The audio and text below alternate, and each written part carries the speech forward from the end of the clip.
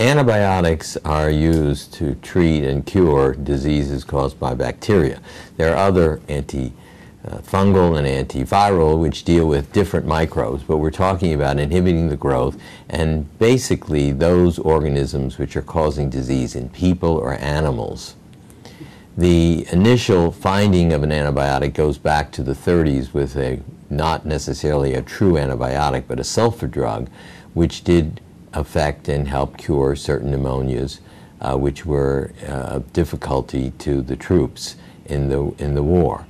We also then heard the famous story about Alexander Fleming and his discovery of penicillin, which then set the stage for an even bigger recognition of the fact that people can make drugs which will inhibit the growth of bacteria that are causing diseases in people and in this way be able to save lives, save hospitalizations. The problem is that something this good was beginning to be misused.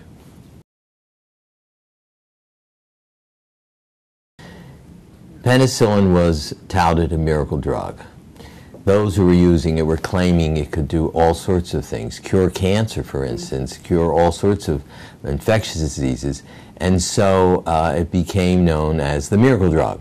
And the find, finder of it, Alexander Fleming, uh, went on tell, went on all sorts of media to describe the wonders of this drug. And uh, his collaborators and uh, others in England, uh, such as Ernest Chain and, and collaborators, were finding ways to make penicillin so it could be used as a therapeutic. The initial finding was serendipitous, and he was aware of the potential, but had none of the manpower to make enough of the drug to demonstrate that it was effective. Alexander Fleming was among the first, if not the first, to warn that once an antibiotic becomes available to the public as an oral medication, that it will be misused, and with misuse will come what he called resistance. He was way ahead of his time there, too. And that, in fact, resistance meant that the drug would not work against the bacteria because they had incorporated changes in their structure and changes in their material that made them unaffected uh, by the antibiotic, penicillin being one of the first, but then going on to many other antibiotics, including those we face today.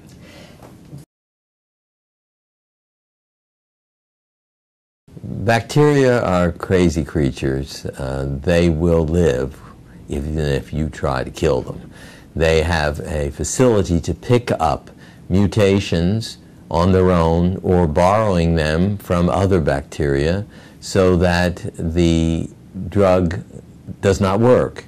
The bacteria go along causing the infection, uh, infecting people, spreading, and it now is vastly changed. It has its original makeup, but it now includes pieces of DNA that allow the organism to survive the antibiotic, and they become what we call resistant to the antibiotic therapy. There are many mechanisms for resistance to antibiotics. One is it can destroy the antibiotic. This mechanism is carried by the resistant bacterium. The antibiotic can be destroyed. The antibiotic can be pumped out so it never gets inside. The antibiotic can substitute for some other kinds of mechanisms. So it lives despite the fact that it's surrounded by the antibiotic.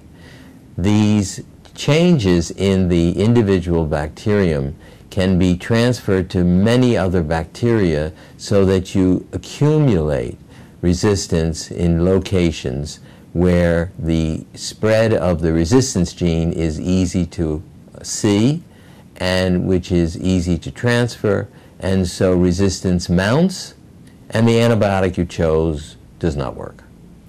We know that some of the resistances involve breaking down the antibiotic itself.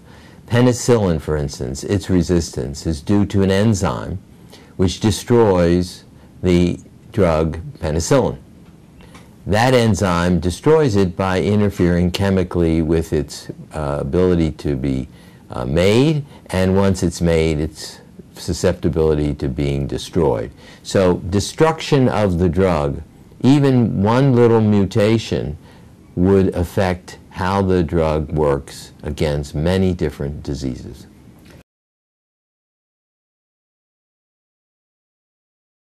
The question's asked, where did resistance emerge? Well, quite honestly, it emerged in the environment. But where we first saw it was in the treatment of human patients in hospitals around the world and also in the United States. So resistance became an entity recognized by clinicians as a possibility that the drug wouldn't work. And in fact, it was problematic because as new antibiotics were being discovered, alongside were bacterium that had accumulated, gotten, mutated to resistance. So resistance became a shadow of the antibiotic and impeded its success. So the miracle drug wasn't so miraculous, or at least the bacteria were able to get around it in one way or the other, either keeping it out of the bacterium or destroying it when it got in.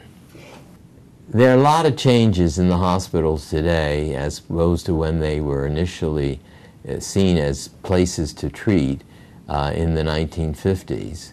I think the answer is that these genetic elements that could make a bacterium resistant, not susceptible, were beginning to be at play because bacteria are not there to be destroyed. They're not going to give up. They're going to replicate. They're going to make new copies of themselves, but with the resistance involved.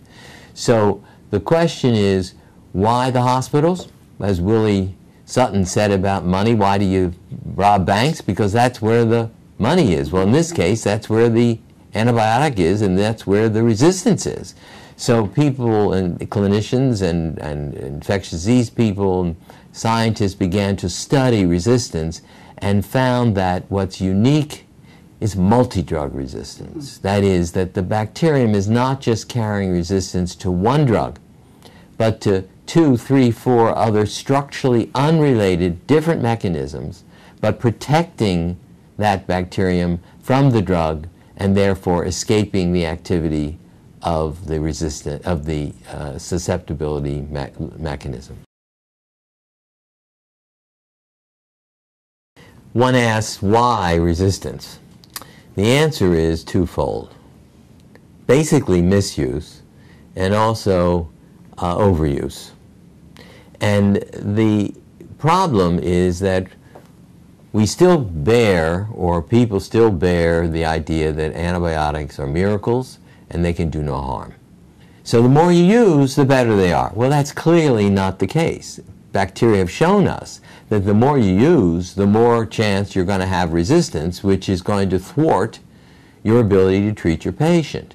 So there's a movement afoot to eliminate, for instance, the ban, uh, to eliminate the use of antibiotics for growth promotion. There's a educational push by many societies, including the Alliance for Prudent Use of Antibiotics, to improve how we use the drugs, to recognize that in fact there's a downside to overuse, a big downside, especially when we are not putting investments into new antibiotics. We have to use the older ones in a better way. Many of us in the antibiotic field are disappointed in the fact that the large pharmaceutical companies have left the antibiotic discovery field and have gone to spend their time and monies on drugs that are used more chronically, weeks at a time. Antibiotics, as we know, we want them to work rapidly. They're not to be used on a weekly, monthly basis. So the return on the investment was not what the companies wanted, and so they're just a handful of antibiotic producing companies that still exist, and they're not yet there with new antibiotics. So we're stuck with the fact that we have to use some of the old ones and the bacteria are already resistant to them. So we have to then devise either combinations of drugs or other ways. Certainly, prevention of disease is critical, but it is true that we are in a critical, very critical time period where we do not have the luxury of new antibiotics. The use of antibiotics in animal food and in animal growing and animal raising was a serendipitous discovery by scientists who found that trace amounts of antibiotics put into the feed would allow chickens and beef cattle to grow with less need of protein. So in fact, they were gaining more weight, making more protein with the food that they were getting and this was a unique discovery. It opened up a field that is still existing here in the United States, but no longer in Europe. What I'm saying is antibiotics are being given in small, not therapeutic amounts to beef cattle, to pigs, to chickens, to help them grow better for less food or feed. And this has opened up an area of antibiotic misuse, in my opinion, because on one hand, we are raising our animals more hygienically, and the need for an antibiotic supplement, however it works, is much less. But what this use does is create an environment of drug-resistant bacteria which are associated with the animals being fed the antibiotic, and those animals then excrete resistant bacteria, which then eventually get to people because it's on the meat that they buy. In most studies show the antibiotic is not in the meat. What's the problem are the resistant bacteria that are associated with the meat. With the fact that we don't have a pipeline of new antibiotics, with the fact that resistance comes in multiples, not just single resistances, and the fact that so much antibiotic is being given to animals for growth promotion, more than which given to people for treatment, there is a movement to stop this uh, use, to ban the use of antibiotics as growth promoters. And it's been a problem that I've been facing and arguing for for more than three decades. Finally, finally, in the 19, uh, in the 2000s, we're seeing a change in the fact that companies, uh, factory farmers, and all are beginning to look at this issue of antibiotic use as growth promoters and reserving antibiotics if they're needed for animals for prophylaxis or treatment. Antibiotics don't destroy themselves. Perhaps it's one of the downside of them being miracles of sorts, you don't want them being destroyed before they act. But quite honestly, they remain environmental in the excrement of animals. They get put on vegetable crops. They, they have a life after their treatment. And this allows more and more resistance to emerge and so the environment of this antibiotic usage for growth promotion is vast and maybe enormously larger than the amount of antibiotics used uh, for therapies. Right. The estimate of the Union of Scientists say that 80% of antibiotics are used now in the United States for growth promotion. Right. In Europe, this practice has been banned and we see that the animals are doing fine. And after a little bit of adjustment, we're getting meat from animals fed without antibiotics. I got into this field as a medical student. I elected and was pleased to be accepted to work in the laboratory of Dr. Tsutomu Watanabe, a famous Japanese research scientist who was one of the discoverers of antibiotic resistance pieces, what we call plasmids or transposon, pieces of DNA that bear the resistance. He was one of the originators of the discovery. So having spent a few months with him and I returned to the States, I couldn't forget that experience And I also learned from Dr. Watanabe misuse, including the animal issue, which was prominent even at that time. So what I did was to then sort of take the mantle from Watanabe, who unfortunately passed away too soon. But in any case, for me, what was important was prudent use of antibiotics. And what was fascinating and unknown at the time was the genetics of resistance, mm-hmm. where pieces of DNA, pieces of the genetic material, could go from one bacterium to another, even ones that were on an evolutionary tree more distant than dogs and cats. I mean, you're talking about major changes. And so a plasmid, piece of DNA, in a streptococcus could be found in an E. coli. That was pretty phenomenal. Mm-hmm. It's very interesting and somewhat frustrating to admit that there was suspicion. And the companies were concerned that what I was doing was putting a bad name on antibiotics. Many did not believe that antibiotic resistance created in animals had anything to do with antibiotic resistance created in people. It was like the two groups were on different planets. And we knew it wasn't, and we did some studies to show it, but it didn't matter. I became somewhat suspect. I became what was thought to be an enemy of pharmaceutical industry discovery, which was ridiculous. And I'm happy to say that I've survived all that, and we're seeing changes that maybe are longer in happening than they should have been. I know that, but are happening at least. Uh, when I first started my sort of interest in improving antibiotic uh, usage, uh, it was uh, coming from a meeting in the Dominican Republic where for the first time scientists from the developing world were able to come to a meeting in a developing country. And the word on the street and in the meetings was resistance. But the work on the resistance was being done by scientists in the developing world, in the developed world, so that the discovery of new resistances in countries which were not as sophisticated or without the same facilities would have this organism go to another country to be studied.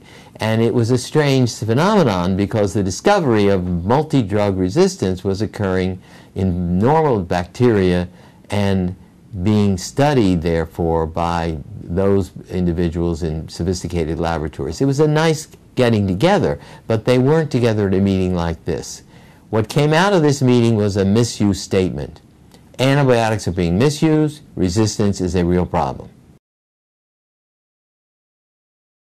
This problem was relatively simple in the 19 early 80s when we approached this and we began what was then the Alliance for Prudent Use of Antibiotics. It was meant to be a global organization but made up of different groups from different countries. And I'm pleased to say that we now have chapters of APUA in 66 countries throughout the world. And the mission is appropriate use of antibiotics done by you in your own country for your own reasons and having selected what is the priority or the beginning of the first step to improve antibiotic use. The, uh, the Alliance for Prudent Use of Antibiotics was begun by myself along with the then a Mexican research scientist Jacobo Kupersztoch. And it was my idea that the activities should not be to one country, should not be an American activity, it should be a global activity. And so we began by helping to establish different countries-wide chapters of the Alliance. And in each chapter, the interested scientists, infectious disease people would be working on the problem as it appears in their country. So it became a, the issue of the country. It wasn't the United States saying you should do this or that. It was the country itself directing its people to use antibiotics more prudently, to look at what is described as over-the-counter use of antibiotics where you don't need a prescription and they're given out one at a time, two at a time. All of these kind of misuses, some with reason, but at least it now was not another country telling this country what to do or that country. It was each individual country which dealt with the problem in his or her country. It's always an interesting experience to speak before congressional groups, especially if they're on two sides of the question. So the one more recent one was the issue of banning antibiotics in animal feeds, and that was several years ago. And it was before congressional committee that it consisted of those who favored this action and those who didn't. But it was not on scientific basis. It seemed to be on a political basis. That was very interesting for me because in the past I testified in the 80s uh, for Gore, uh, uh, Congressman Gore's committee on health and there we discussed the issue of antibiotic misuse, the use in animals and so forth and he got a dressing down by the Congress representatives on the whole issue of who's prescribing the drugs, why are you prescribing them, is there any influence of the pharmaceutical companies in this practice, which there was. But in any case, that was 84, I believe, and then we, nothing happens for another 20, 30 years, although we're out there actively creating APUA, finding areas that we can use uh, our information to help improve antibiotic usage, and helping chapters in Africa, in Southeast Asia, to establish themselves and give uh, a purpose to what they want to see is fantastic.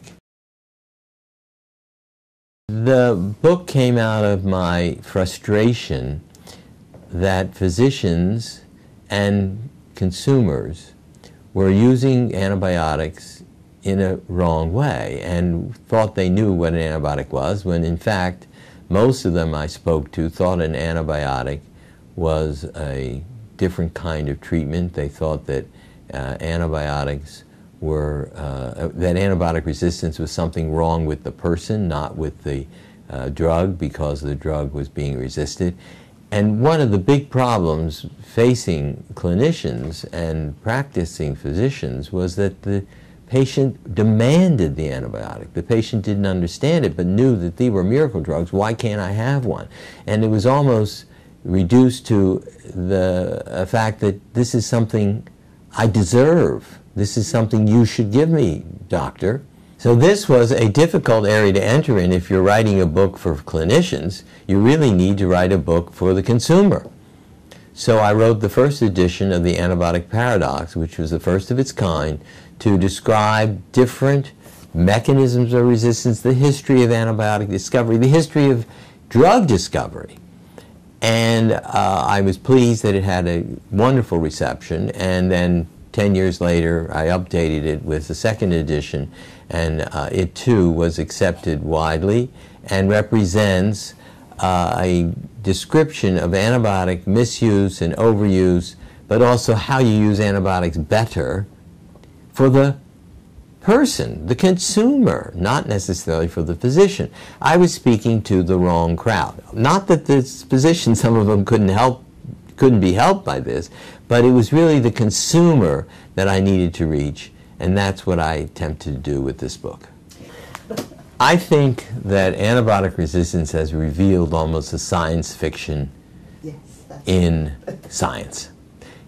Who would have thought before plasmids were discovered, that you'd have pieces of DNA that could go from one bacterium to another of very different types mm -hmm. and carry with it the resistance genes which allowed the next bacteria to survive treatment. To complicate and unravel our ability to treat an infection with what were really touted as miracle drugs. And suddenly you have resistance to them. How's that happen?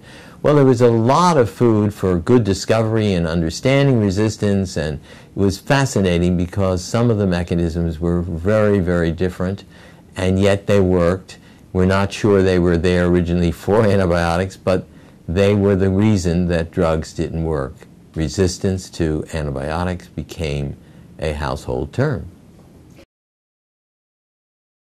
I think the public needs to speak to their representatives and get companies back on track.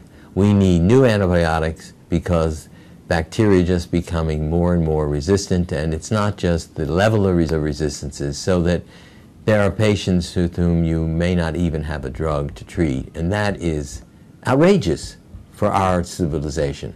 We should be, if we can go to the moon, we can certainly find antibiotics, but we have to put our time and energy into it. So uh, I think that's one of the things. Two is to respect antibiotics. I think there's a lack of respect. There's a thinking that, oh, let's just try this one, or antibiotics will work, we know they will, and or I keep this in my medicine cabinet. If I have a scratchy th throat, I just take one and take one. Yeah, I take one and I feel a lot better. I said, yeah, but one isn't going to do anything. So that in the book I describe a number of scenarios of misuse, which some find shocking, but they're real and they're true. I would say that the Europeans politically are ahead of the US in the sense that they have taken great strides to improve antibiotic use, to educate the public, and to eliminate overuse of antibiotics when they're not needed. The politics involved in changing a policy is much easier in Europe, we have seen, than in the United States, where changes require court hearings and uh, all sorts of different um, activities to changing a policy or changing an activity. So that uh, I would say that Europe's ahead of us in that regard. What we're interested in now is two sides. One is uh, to understand better how bacteria escape so many different antibiotics, multi-drug resistance, and there's some interesting genes that are involved, and we're studying those. Uh, the other area is relatively new. It's to prevent the infection in the first place. It's called antivirulence, and it's an antivirulence approach. So you have an infection that would come up with a patient who's put on a ventilator, and we know that that could be a couple percent each day, and you have an antibiotic, but it's not really killing. What it does is it prevents the bacteria from sitting down and causing an infection, growing into an infection. It can't because we are killing or keeping out the bacteria that can make the infection and prevent them from doing it. They can live, but they can't make an infection. And so this is, could be true for urinary tract infections, for um, post-surgical uh, uh, operations in which uh, the infection is likely and you could use an anti-infection agent to prevent it. You're not killing, you're not selecting for resistance. It's a, a whole new approach, but it has validity. And we have animal models that show us it can work. I think that decades of looking back help a little because you see how numb the ears were in the 60s and 70s and how suddenly there's a stand-up call and a look to new antibiotics. I think to some extent that's because the older generation in the pharmaceutical industry has passed on to some other places, and the younger ones who were trained by us about resistance and about plasmids and, and all the genetic machinery, I think they took over and said, yeah, resistance is a real entity. We should deal with that. The interesting discovery was it wasn't so easy to find new antibiotics. The history we told us we had penicillin and aminoglycosides and, and cephalosporins and all of the new antibiotics that were fabulous at the time. But we lost them to resistance. And then it wasn't easy to find new ones. And that created the big separation between the success of treatments versus the failure of treatments, whether it's on the farm or more likely in the hospital where we take the biggest toll. The question is why the issue now? I think now is because one, large pharma has left the antibiotic discovery field to invest their investments in more lucrative areas such as chronic diseases where you're using a drug every day. It's not a five day or a 10 day treatment. So the return on the investment is much greater in the chronic drugs than in the acute. On the other hand, acute will kill you. So, I mean, it's being blinded that you have a real need here and that, yes, you can get a good return, especially if you've got a good antibiotic. And we're lacking new antibiotics. We can hope that new ones will come through, but for the moment, this is a real loss.